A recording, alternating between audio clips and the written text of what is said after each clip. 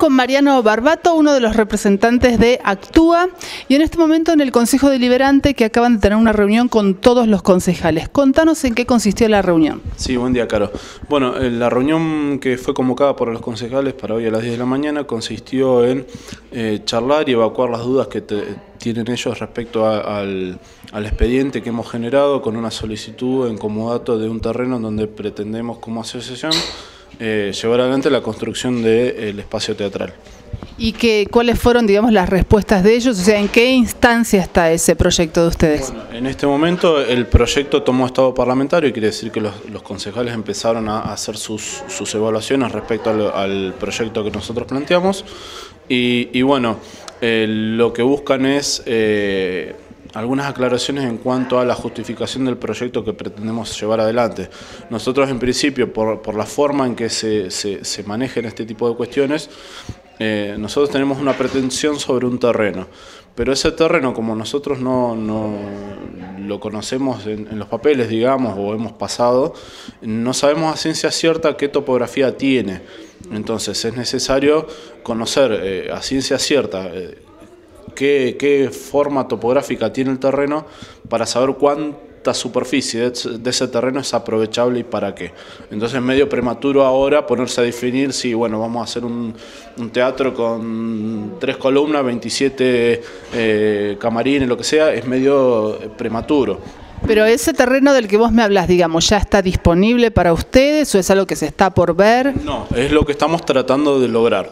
Nosotros el año pasado hemos eh, tomado conocimiento como asociación de, los terrenos por ahí que dispone el municipio en cuanto a reservas fiscales y hemos recorrido varios y hemos llegado a la conclusión de, dos terrenos posibles que se podrían llegar a, funcionar para un teatro, pero que no es aplicable para ni para una escuela o, para vivienda tampoco por la topografía y por ahí para un teatro podría llegar a funcionar.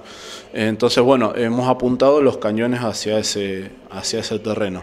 ¿Y cómo lo ven ustedes, digamos, un poco de intuición de la reunión que tuvieron? ¿Hay posibilidades de que tengamos un teatro en Villa Langostura, algo que realmente es muy esperado? Mira, eh, yo eh, eh, soy optimista, o sea, personalmente respecto a este proyecto soy optimista, por eso es que me lo he puesto al hombro, si no estaría haciendo otra cosa en mi casa, pero más allá de, de la subjetividad personal, somos optimistas como asociación en cuanto a que pareciera ser como que se dan una serie de factores que nos ponen el objetivo de la sala de teatro más cerca imposible. Eh, tenemos lo del encuentro, tenemos la asociación ya prácticamente finiquitado. Eh, ese terreno por ahí parece ser que no sirve para otra cosa. La ubicación está dentro de un contexto en donde va a quedar rodeado de, cuestiones también culturales, como un museo o un paseo turístico.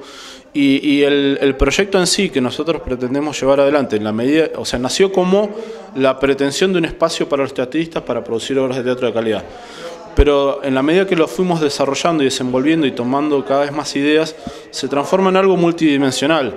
O sea, empieza a tener factores que tienen que ver con el, desarrollo turístico, porque el hecho de tener obras teatrales con, con periodicidad en, Villa Langostura fomenta ciertamente el, turismo cultural, como dice Mariela. Eh, la otra cuestión que tiene que ver es el factor social. O sea, tenemos hoy por hoy un semillero de pibes de, cerca de 80 pibes que están haciendo teatro eh, con Gaby Suárez. Entonces, el, factor de contención social como, eh, eh, que, puede brindar el teatro es algo para no despreciar. bueno, el factor artístico también. Y se me está escapando algo por ahí, pero tenemos lo, turístico, lo social, lo artístico. ya, con eso hay para, para entretenerse. Fíjate vos que por ahí se, ve, a veces se ve gente que, paga para hacer producciones cinematográficas y vienen a Angostura por los escenarios que tenemos y, mueven un montón de gente y un montón de guita y producción y qué sé yo. Y nosotros acá tenemos, tenemos los escenarios, tenemos los actores, tenemos gente capaz de producir obras de teatro, eh, gente capaz de hacer producciones audiovisuales. Lo que nos queda es eh, cerrar todo el combo y empezar a aprovecharlo. Lo que falta es el teatro. Lo que falta es el teatro, efectivamente.